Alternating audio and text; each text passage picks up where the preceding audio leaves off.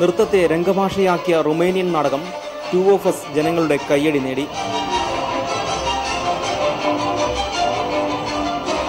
Classical പാൻഡാമൈമുകളും സാമ്പ്രദായിക നൃത്തവും ആയോധനകലയും തുടങ്ങി പലവിധ പ്രദർശന കലകളിലൂടെ ആശയങ്ങളും അനുഭവങ്ങളും അനുവാചകരിൽ എത്തിച്ചപ്പോൾ ടു ഓഫ് എസ് വ്യത്യസ്തമായ ഒരു ദൃശ്യ അനുഭവം നൽകുന്ന നാടക ആവിഷ്കാരമായി മാറി.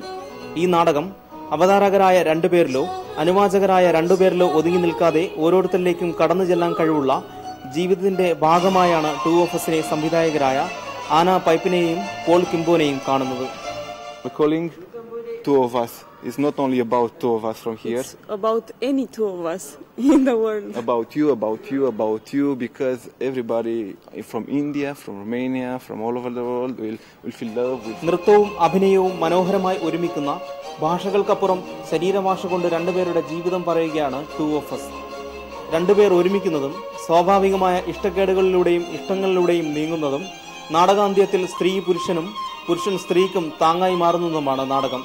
വേദിയുടെയോ സമയങ്ങളുടെയോ ധാരാളിത്തമില്ലാതെ സ്വാഭാവികമായി കഥ പറയുന്ന ടു ഓഫ് എസ് മനോഹരമായ പശ്ചാത്തല സംഗീതം കൊണ്ട് സമ്പുഷ്ടമാണ്.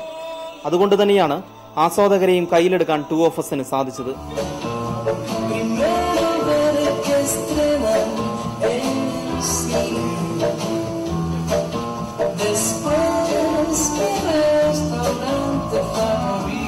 ടു ഓഫ് എസ് അത് വളരെ ഇൻട്രസ്റ്റിംഗ് ആയിട്ടുള്ള പ്ലേ ആണ്.